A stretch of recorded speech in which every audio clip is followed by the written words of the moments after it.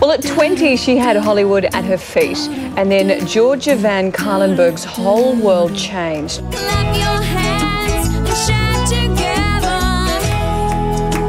It's fun to share. The former hair model turned actress was devastated to find out she had the hair loss disease alopecia. Alopecia areata is an autoimmune disease. In which the hair falls out. Bald is associated with sick, and I don't have cancer. I don't. I've just got alopecia, and it would be really nice if I didn't. Oh.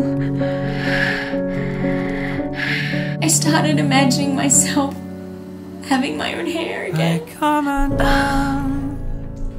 Come undone. There's no. In fact, there's more people with autoimmune diseases in the United States, if you take all those diseases together, than there are with cancer. If I'm an actor out there, surely I should be the one going, I'm bald and that's okay. But instead of hiding at home, she decided to be loud and proud and embraced being bald and beautiful.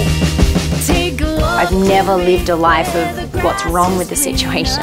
I'd rather be standing up for something. Get everyone in. Oh, go. Everyone in. And there's something about hugging a kid with no hair and you just hold their head and I'm like, that's that's what I am.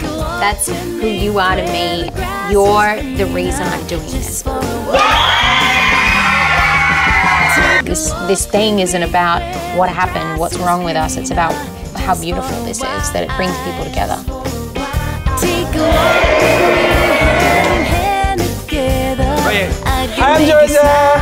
Think it's. Take a walk with me where the grass is greener, just for a while.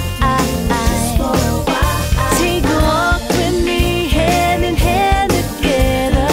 I can make you smile. I can make you smile.